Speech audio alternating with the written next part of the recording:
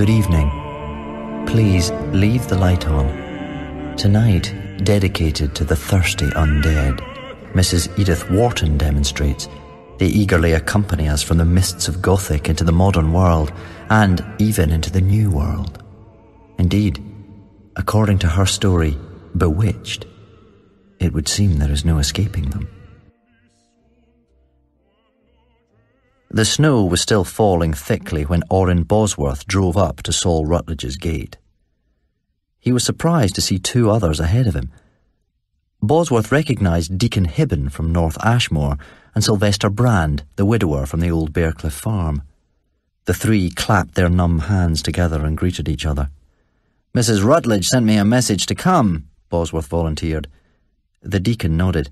I got a word from her too. I hope there's no trouble here. The two men, followed by Sylvester Brand, walked to the front door. The door opened, and Mrs. Rutledge stood before them. Walk right in, she said. The room into which she led the three men had a black stove planted on a sheet of zinc.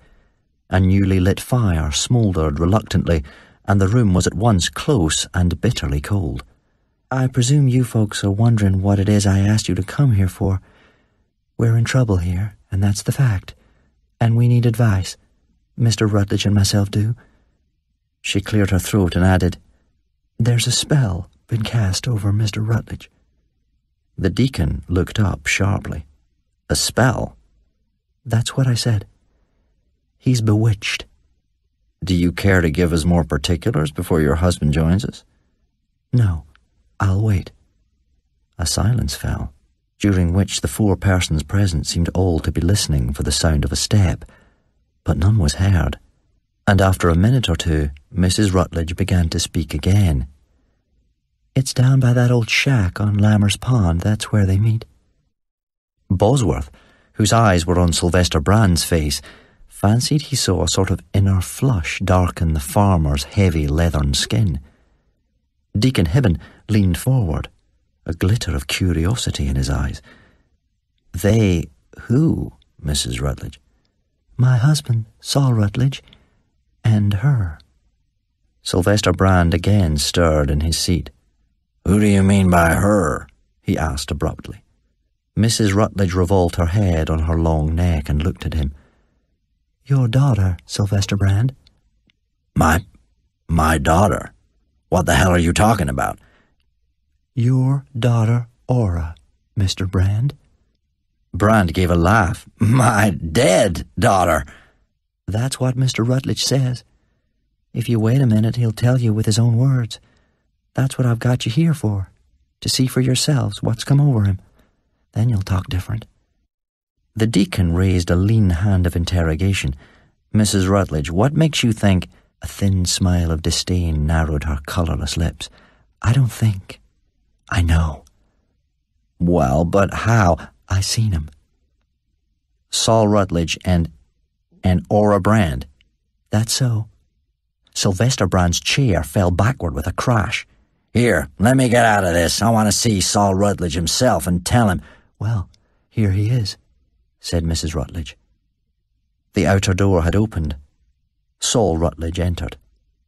As he came in, he faced the light from the north window and Bosworth's first thought was that he looked like a drowned man fished out from under the ice.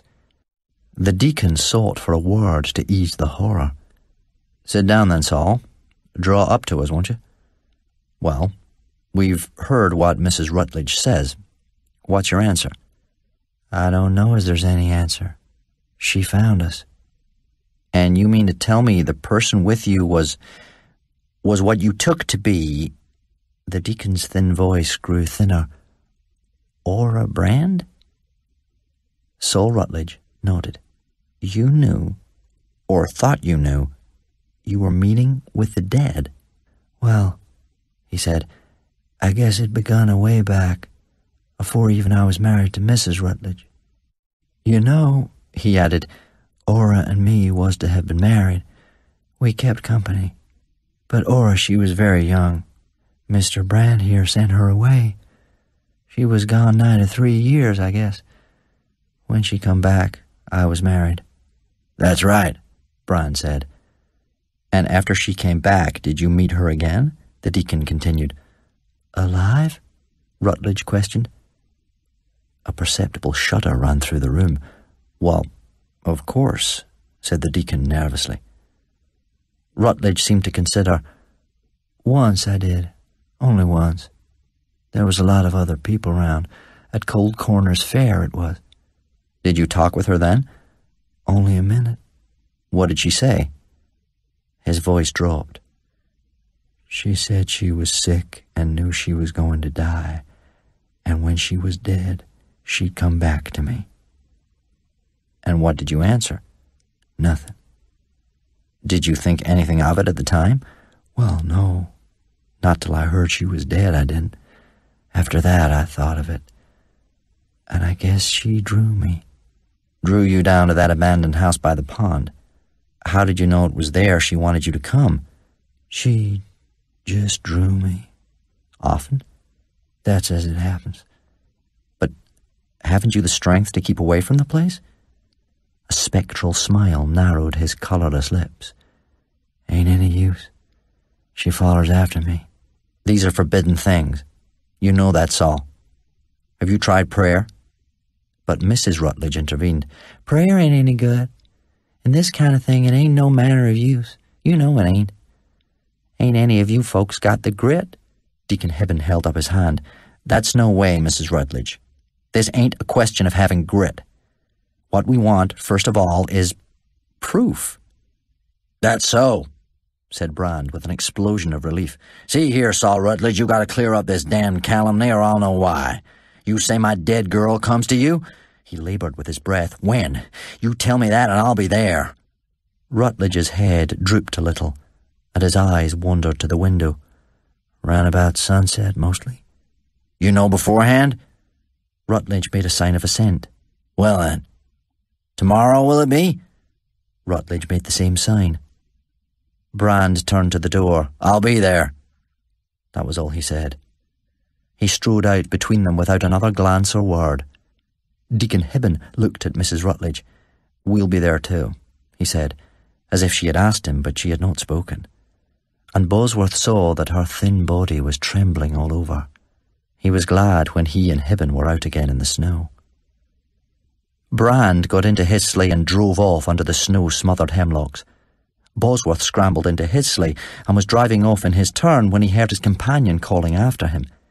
The deacon explained that his horse had cast a shoe. Would Bosworth drive him down to the forge near North Ashmore if it wasn't too much out of his way? Bosworth made room for him under the bearskin and the two men drove off.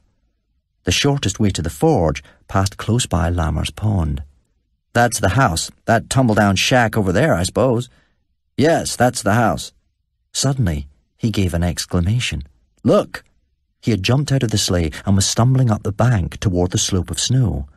On it, turned in the direction of the house by the pond, he had detected a woman's footprints. Two, then three, then more. The deacon scrambled out after him, and they stood and stared. God, barefoot, Hibben gasped. They got into the sleigh and drove on. As they rounded the turn, they saw Brand's cutter ahead of them, the horse tied to a tree trunk. This was not Brand's nearest way home. Bosworth found himself shivering all over under his bearskin. I wish to God the dark wasn't coming on, he muttered he tethered his own horse near Brand's, and without a word, he and the deacon ploughed through the snow, in the track of Brand's huge feet. They had only a few yards to walk to overtake him. When Bosworth spoke his name, he stopped short and turned. He looked at them dully, but without surprise. I wanted to see the place, he merely said. The deacon cleared his throat. Yes, we thought so. But I guess there won't be anything to see. The three men came out together in the cleared space before the house. Brand stopped with a jerk and pointed to the same light footprints turned toward the house. The track of a woman in the snow.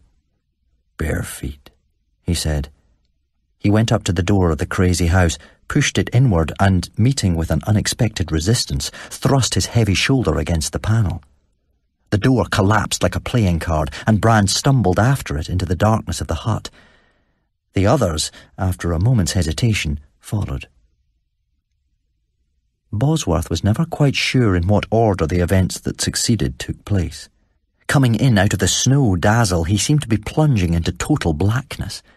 He groped his way across the threshold, caught a sharp splinter of the fallen door in his palm, seemed to see something white and wraith-like surge up out of the darkest corner of the hut, and then heard a revolver shot at his elbow and a cry. Brand had turned back and was staggering past him out into the lingering daylight. The sunset suddenly flushing through the trees crimsoned his face like blood. He held a revolver in his hand and looked about him in his stupid way. They do walk, then, he said, and began to laugh. He bent his head to examine his weapon. Better here than in the churchyard. They shan't dig her up now, he shouted out. The two men caught him by the arms, and Bosworth got the revolver away from him. The next day, Bosworth's sister Loretta asked him if he had heard the news. What news? Venny Brand's down sick with pneumonia. The deacon's been there. I guess she's dying. Venny Brand? he echoed. She's a child. Well, repeated his sister, I guess she's dying. After a pause, she added, It'll kill Sylvester Brand all alone up there. Venny Brand was buried three days later. The service was over. The coffin of Venny Brand had been lowered into her sister's grave, and the neighbours were slowly dispersing. Bosworth felt obliged to say a word to the stricken father. He waited till Brand had turned from the grave with the deacon at his side. Brand's face was the closed door of a vault barred with wrinkles like bands of iron. Loretta Bosworth was talking with the other women while the men unblanketed their horses. As Bosworth waited for her, a few feet off he saw Mrs. Rutledge's tall bonnet lording it above the group. Saul ain't here today, Mrs. Rutledge, is he? One of the village elders piped. Bosworth heard her measure out her answer in slow, incisive words. No, Mr. Rutledge, he ain't here. He would have come for certain, but his Aunt Minorca Cummins is being buried down to Stotesbury this very day, and he had to go down there. Don't it sometimes seem's if we was all walking right in the shadow of death? The deacon went up to her. Bosworth heard the deacon say, I'm glad to hear that Saul is able to be up and around. She turned her small head on her rigid neck and lifted the lids of marble. Yes, I guess he'll sleep quieter now. And her too, maybe, now she don't lay there alone any longer, she added in a low voice, with a sudden twist of her chin towards the fresh black stain in the graveyard snow. She got into the cutter and said in a clear tone to Andy Pond, So long as we're down here, I don't know but what I'll just call round and get a box of soap at Hiram Pringle's. Tomorrow night, if you're free, I'd like to introduce you to someone with a singular obsession. An obsession with a bat.